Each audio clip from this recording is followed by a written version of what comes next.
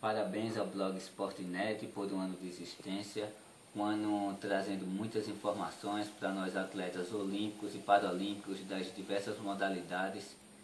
E quem sabe até 2016 vocês venham acompanhando nosso treinamento, nosso trabalho, para que quando chegamos lá em 2016 está trazendo medalhas aqui para o nosso país e vocês com muita notícia e muitas informações boas.